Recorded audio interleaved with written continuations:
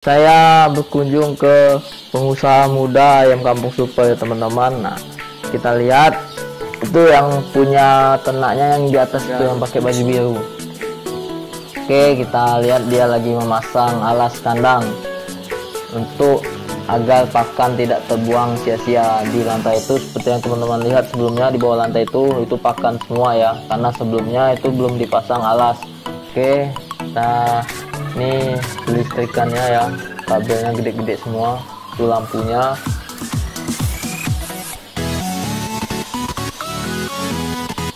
Kita lihat tuh ayamnya ya. Wah emang enak kalau punya ayam sebanyak ini. Semuanya saya sehat lincah-lincah ya. Jadi kita semangat juga dalam memelihara ayam itu ya. Oke kita lanjut lagi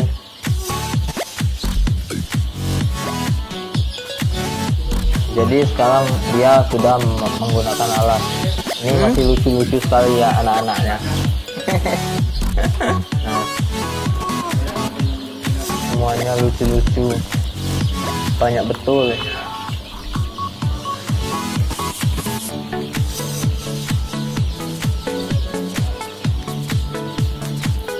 oke kita lihat langsung ke depan ya. Terkenal gak kandang abang. Nah ini kondisi depan kandangnya nah ini kandang pembesarannya yang satu lagi teman-teman. Di sini ayamnya sudah habis tinggal sedikit lagi ya teman-teman.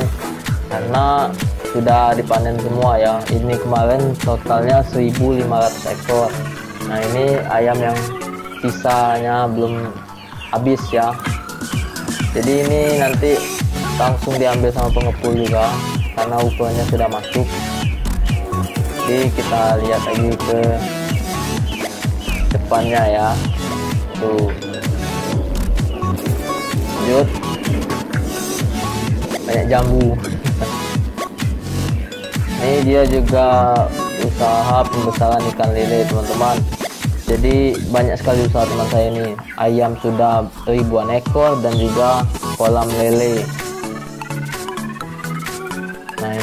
benar-benar enak kalau punya halaman luas seperti ini model seperti ini. Nah ini kolamnya berjejer 5 tingkat tadi ya. Jadi enak teman-teman lihatnya. Itu kandangnya.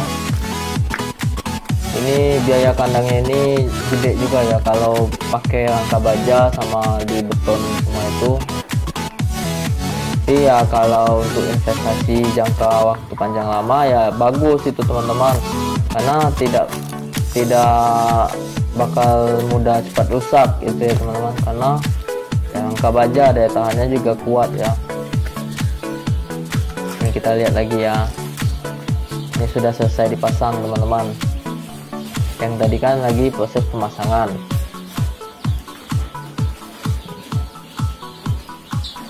ini dia ya. Ayamnya semuanya sehat-sehat lincah-lincah teman-teman.